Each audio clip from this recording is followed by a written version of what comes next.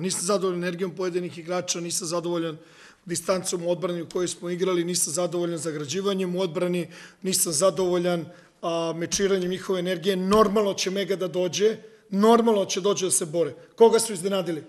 Pa tako igra od kako je Dejan trener. Sad kao mi smo kao iznenađeni nešto. I dobili smo 20, sad svi smo u redu. Ne, nismo u redu. Sutra sastanak pa razmišljanje o tome. Pa mislim priča o tome. I još je ovaj povredio dečko oko, ovaj drugi ima, nije bitno, znači u sredu će bude zabavno. Znali smo od početka šta nas čeka. Ovaj, u ovom momentu možda i najbitnije da smo pobijedili, ali ovaj, nismo bili na onako nivou kako je trebalo da bude.